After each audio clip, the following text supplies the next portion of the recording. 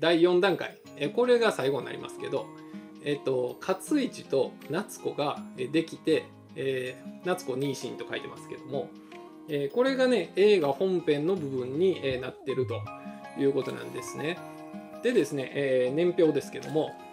えー、1941年に真珠湾攻撃が始まりまして、えー、1944年、えー、1944年じゃないその前にですね勝一が戦闘機の部品の、製造工場を経営してましてそれが成功します、その頃ですね夏子と勝一が関係を持って、妊娠してます。で、えー、夏子まだその時久子まで生きてるんですけどね。で久子が生きてるのに、えー、夏子と関係を持って妊娠すると。で夏子の屋敷の前に会社の移転先をもう建築し始めてると。ここもおかしいんですけどね、えー、なんで久子がいてるのに夏子と関係持ってもうなんか自分の工場移転する先までも建築始まってもうてんねんいう話ですね。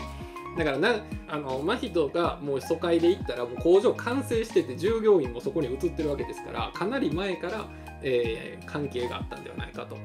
でそしてですね1944年に、えー、夏子、えー、久子が、え、火事で死亡します。これが映画冒頭のシーン。でこんだけ年表を作ってきて本編って書いてあるのこの4つしかないんですけど、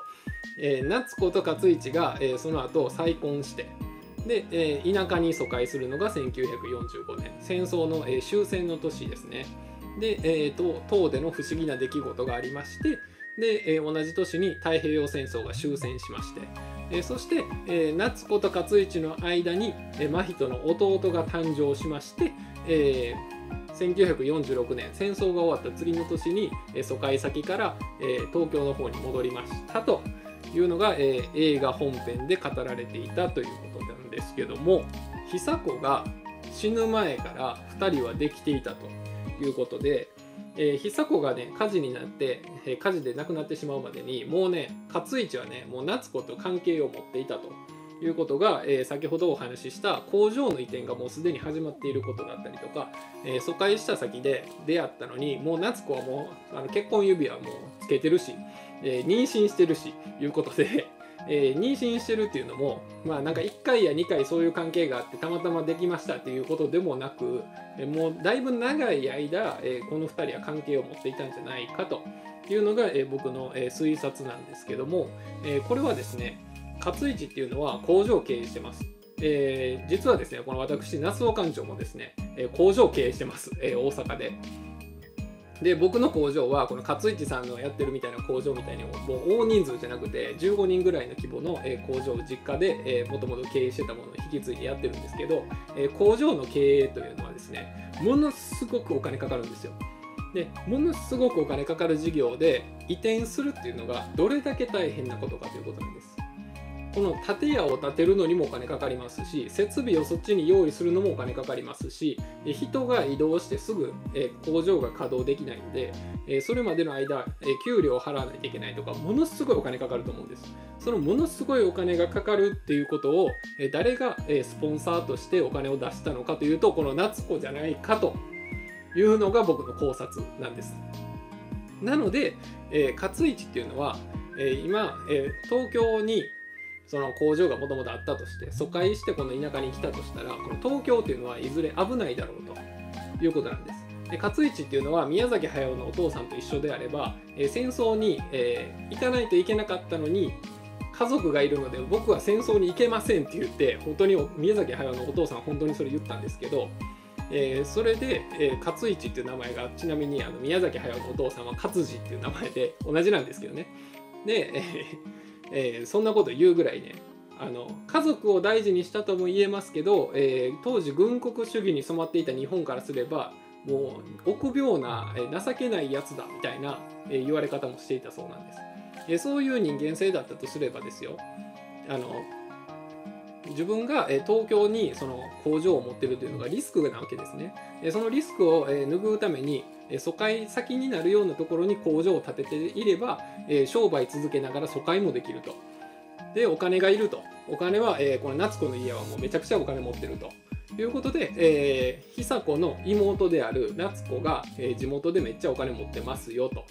いうのを知ったから、えー、勝一の方から夏子に関係を持ちかけて夏子が応じて、えー、関係ができてそこで2人はもうできてたんじゃないかというのが、えー、想像できるわけなんですけどもこれがですね、え弟があの唐の跡継ぎになれなかった理由ということなんです。えこれはですね、えちょっと話したいことが多いんでちょっと読みながら見失わないように読みながらいきますけどえっとね、この映画の最後に弟が生まれました。えー、これ妹じゃないかっていう説もありますけど、えー、絵コンテ見ると弟ですね。で、えっ、ー、と、真人があの世界にもし入らなかったら、えー、弟が夏子が向こうに産屋の中に入ってあのまま、えー、弟が生まれる予定だったということなんですけども、えー、これはですね、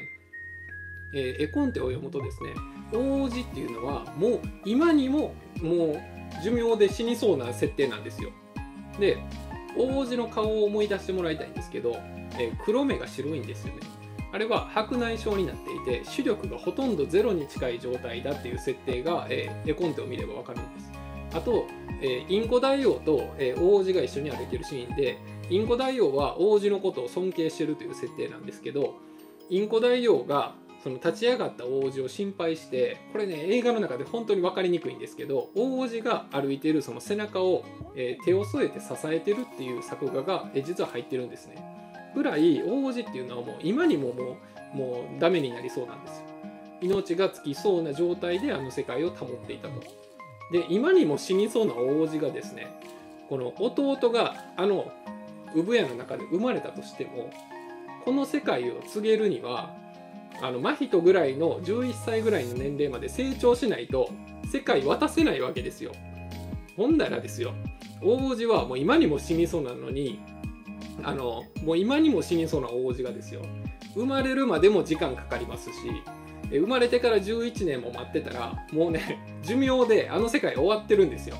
だから僕の予想は弟は党の、えー、継ぎの候補としてあの産屋に、えー、産屋で産まされそうになってたんではなくてもともと夏子を出しにして、えー、真人をおび寄せるたおびき寄せるために、え、夏子をあの世界に呼んだんではないかとだから弟は初めから後継ぎの候補としてカウントされてなかったんじゃないかというのが僕の考察なんですね。でいうことでこれなんでかというとあの向こうの世界の中では、え、現実の世界で流れている、え、年月と同じ年月が流れてるんですよ。というのも、えー、そうでなければ夏子があの中で妊娠してますと。で子供を産むための産屋に入ってるんですけど、えー、子供を産むには時間が経過している必要があるわけです。だから、えっ、ー、と十月10日とかって言いますけど、えその期間を、え中で過ごしてたらそこで生まれるってことは現実の世界に帰ってもそんだけ分と同じ時間が過ご,、えー、過ごしていてもおかしくないということなんですよね。なんで、えーと、真人があの世界に入ってから中の世界の中で数日経ちましたけどその数日の間並行して、えー、現実の世界では勝一が真人たちを捜索していましたしで、えっと、1年間、えー、氷見と、えー、キリコが昔行方不明になった時ですね、えー、それもですね、えー、1年間ということなんで、えー、この世界の中でも1年間の出来事なんですよあの久子とキリコの目線から見ると。で王子があんだけ年を取ってて寿命で死にそうっていうのはああいう見た目をもともとしてたんじゃなくてもともとは言ったようにあの超イケメンだったんですよね。若い時にいなくなってるんですよ。若い時にいなくなってて中で時間が経過しているからえー、中にいても外の世界にいても、えーと、時間は進んでいると。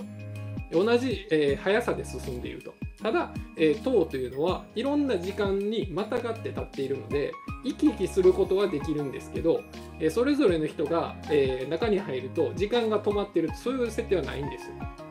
ということで、えーと、王子が、えー、王子じゃなくてあのあそう王子が、えーと真人の生まれゆく弟を党の跡継ぎに、えー、候補にしなかったんではないかというのは、えー、そういうことなんです。もう王子がもう、えー、いつ死んでもおかしくないような状態なんで、え弟が生まれて生まれてから、え11歳ぐらいまで育って、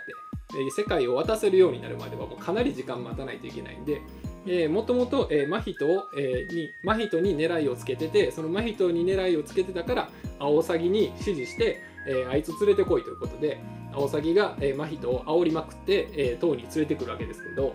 えー、夏子はおびあの吸い寄せられるように自分から入っていきますからね。でしかもあの時の記憶ないわけですよ。もうなんかあの催眠術かけられたみたいに森の中に入っていってこう塔の中入っていったんですよ。だから入り方も違いますしやっぱりね弟はね唐の後継ぎに選ばれる、えーことはもともとからしてなかったんではないかというのが、えー僕の考察です。えー、真人一族の真実ということで